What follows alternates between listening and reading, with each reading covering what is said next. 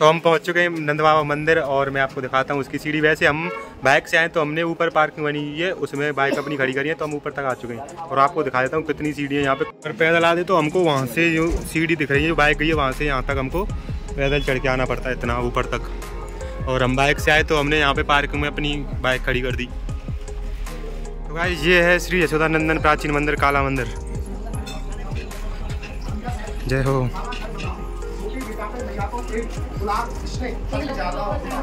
ये जो इसमें ऊपर सीढ़ियों के बाद जो रास्ता है ना, वो काफ़ी बेहतरीन है। यहाँ पे आप देख सकते हो पीछे की तरफ़। ये रास्ता काफ़ी अच्छा है और इसमें बिल्कुल छाया है, बिल्कुल छायावादी रास्ता है। इसमें तरी मिल है, बिल्कुल ठंडक ऐसा लग रहा है कि यहीं पे रुक जाएँ और आगे ना बढ़े।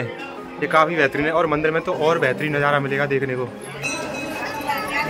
जय हो नंद बाबा की जय। तो आज हम ऊपर महल में आ चुके हैं और हम चढ़ चुके हैं बिल्कुल ऊपर जहाँ महल बना हुआ है और अंदर चलते हैं।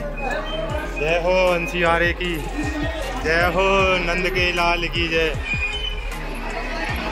तो आज देख सकते हैं हम ऊपर आ चुके हैं नंद बाबा महल में, जो मंदिर है।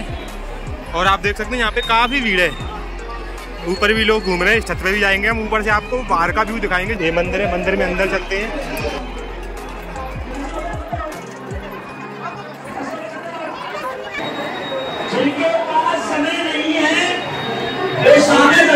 दर्शन करके यहाँ से भी आ सकते हैं क्योंकि अंदर समय लगता है, अंदर सौ लोग जाते हैं। लेकिन पीछे क्योंकि जय हो काफ़ी अच्छे दर्शन हो रहे हैं भाई। यहाँ पे तो बेहतरीन नज़ारा देखने को। मेरा तो एक बार दोबारा और मन कर रहा है अंदर जाने का। मैं दोबारा जा रहा हूँ घर से मंदिर के अंदर। जय हो नंद बाबा। तो हम ऊपर चल रहे हैं, जहाँ से आपको हम दिखाएँगे पूरा व्यू। यहाँ से बहुत बेहतरीन नज़ारा दिखाने वाले हैं आपको पूरे नंद, नंदगांव का। और आसपास के क्षेत्र जितने ही है, सब दिखाऊँगा मैं आपको, जहाँ से जो भी दिखाई देगा। और आप देख सकते हैं, मैं ऊपर आ चुका हूँ। देखिए भाई, यहाँ पे कितना बेहतरीन नज़ारा है। ये बहुत काफ़ी ऊँचे पर है ये मंदिर। और आप देख सकते हैं, ये नीचे इधर जब हम आए थे, हम शनिदेव मंदिर आपको दिखाई दे रहा हो। इस तरफ़ शनिदेव मंदिर है। आपको मैं दिखा देता हूँ थोड़ा जूम करके। आप देख सकते हैं, ये शनिदेव मंदिर है, ये वाला। ये शनिदेव मंदिर है, ये वाला। और आप देख सकते हैं, ऊपर का नज़ारा यहाँ पे काफ़ी बेहतरीन है, ये देखने लायक चीज़ है मंदिर। तो आप देख सकते हैं, यहाँ पे ये घंटा है, ये बंधा हुआ है, ये घंटा। कितना बेहतरीन है घंटा ये। और आपको मंदिर दिखा देता हूँ, काफ़ी अच्छा मंदिर है, और ये देख सकते हैं आप यहाँ पे। अब मैं दिखाता हूँ आपको नंदगांव।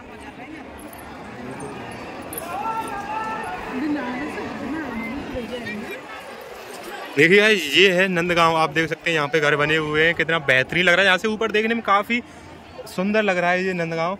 वैसे अगर अंदर गलियों में घूमेंगे तो इतना आनंद नहीं आएगा, लेकिन यहाँ से देखने में बहुत अच्छा लग रहा है। तो वैसे मैं आपको दिखा दूँ, ये वो जगह इस जगह पे हम जब पिछली बार आए थे, तब हमने यहाँ पे फ़ोटो शूट कराया था, और अब भी हम फ़ोटो शूट कराएँगे इस जगह पे।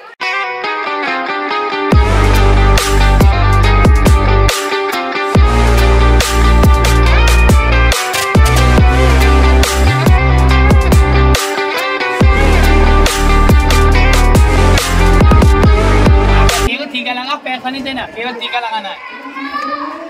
जय हो नंद बाबा की जय। क्या नाम है अम्मा?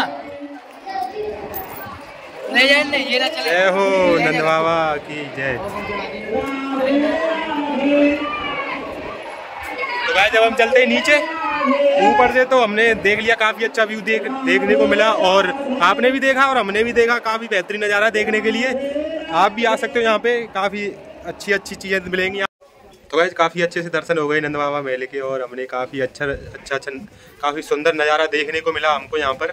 और अब हम इसके बाद चलते हैं राधा रानी जी मंदिर, लाडली जी के महल में चलेंगे अब और उस महल को देखेंगे, फिर उसके बाद जाएँगे कीर्ति मंदिर शायद। अब हम इसके बाद चलते हैं राधा रानी जी मंदिर और हम वहाँ के आपको दर्शन कराएँगे और दिखाएँगे नज़ारा, जो भी चीज़ वहाँ पे देखने लायक जो भी है, सारी चीज़ दिखाएँगे। तो गाय चलते हैं राधा रानी जी मंदिर। तो गाइस आप देख सकते हैं, यहाँ पे काफ़ी भीड़ है और इतना जाम लगा हुआ है। यहाँ पे कम से कम जे कम दो तीन किलोमीटर तक इसी प्रकार से जाम लगा हुआ है। थोड़ा सा आगे बढ़ते हैं और रुक जाते हैं। हमको यहाँ तक आने में बरसाना, यानी लाडली जी के महल में आने में मिनिमम एक से दो घंटा लग चुका है हमें। और सिर्फ़ यहाँ से चार पाँच किलोमीटर है, यहाँ से चार पाँच किलोमीटर है नंद बाबा महल। तो भाई जब हम आ चुके हैं लाडली जी के मंदिर में, राधा रानी जी के में। मतलब जाने वाले हैं हम। और ज़ोर से बोल दे भैया, राधे राधे। और अब हम चलते हैं अंदर की तरफ़ मंदिर में। और अब हम चढ़ेंगे ऊपर ताकि अब सीढ़ियाँ काफ़ी सीढ़ियाँ तो उन पे चढ़ेंगे हम। तो चलते हैं और चलिए हमारे साथ। चलो चलो चलो। तो वैसे आप देख सकते हैं यहाँ पे काफ़ी भीड़ है और काफ़ी ऊँची चढ़ाई है इस मंदिर की। आपको तो पता ही है राधा रानी जी के मंदिर में। और आपको मैं दिखा देता हूँ बरसाने का दर, थोड़ा दर्शन करा देते हैं बरसाना देख सकते हैं आप। यहाँ से बरसाने का व्यू काफ़ी सुंदर आ रहा है इस टाइम और उस तरफ़ एक पहाड़ है। ये कौन सा पहाड़ है? और ऊपर से देखेंगे हम। हाँ यहाँ से अच्छे से दिखाई दे रहा है वो पहाड़। वैसे चढ़ने में यहाँ पे काफ़ी तेल पसीना जितना भी तेल लगाया और पूरा पसीने के साथ बह चुका है और जो भी खाया पिया है वो भी सारा पसीने के साथ निकल निकलता जा रहा है और हमको भूख भी लगने लग गई है। क्योंकि काफ़ी टाइम हो चुका है यहाँ से और वहाँ तक सीढ़ी काफ़ी टफ है यहाँ से चढ़ना। क्योंकि यही एंड मतलब सबसे ऊपर वाली है और यही ज़्यादा टफ है। और ये गेट आ चुका है और हम इससे अंदर चलते हैं। जय हो माता रानी की। चलते हैं हम मंदिर में, मंदिर के मंदिर की ओर अग्रसर होते हैं और ये सीढ़ियाँ तो हमारी समाप्त हो चुकी हैं पीछे वाली। अब आगे वाली सीढ़ियाँ आती है वो मैं आपको दिखा देता हूँ। और आप देख सकते हैं काफ़ी पसीना आ रहा है इस टाइम बहुत गर्मी पड़ रही है। अब इस टाइम टाइम हो रहा है, दो बजे के आठ मिनट हो रही हैं और मुझे लगता है कि शायद दर्शन भी नहीं हो पाएँगे, शायद गेट बंद हो गया है। और देखते हैं चल के क्या होता है उस जगह पे। अब ये सीढ़ी आ गई है अब हम आ चुके हैं मंदिर के पास में, बिल्कुल निकट पहुँच चुके हैं हम। थोड़ा सा ही बाकी है।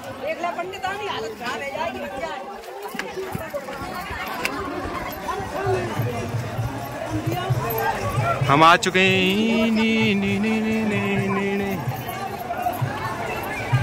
तो गाय तो गाय फ़र्स्ट ऑफ़ ऑल आप ये देखिए बरसाना यहाँ से कितना सुंदर लग रहा है और बरसाने की ये घर, गलियाँ, कूचे, ये काफ़ी अच्छे लग रहे हैं। इस टाइम इतना मस्त लग रहा है, काफ़ी देखने में बहुत अच्छा लग रहा है ये बरसाना और आप देख सकते हैं, यहाँ पे हम लाडली जी के दर्शन करने आ चुके हैं। श्री लाडली जी महाराज बरसाना भाई गेट तो हो गया है बंद। जैसे करके दर्शन करके आएँगे ना।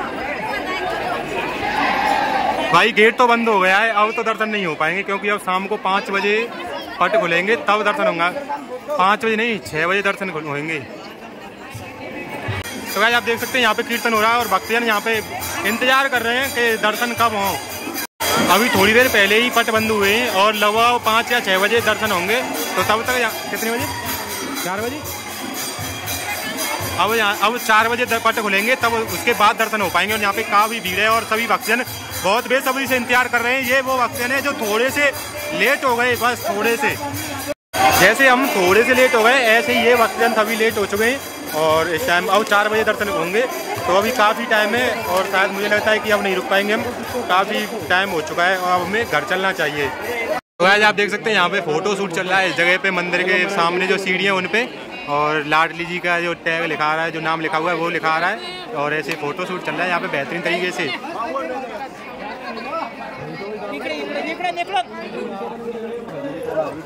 तो गाय इस टाइम क्या है कि राधा रानी जी के पट बंद हैं तो हम अंदर नहीं जा पाए और काफ़ी टाइम लगेगा। पाँच बजे खुलेंगे पट।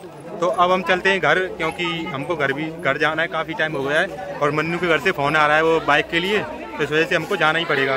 तो गाय मिल, फिर किसी दिन आएँगे, अपना क्या आ जाएँगे, हमारे, हमारा तो यही काम है घूमने का।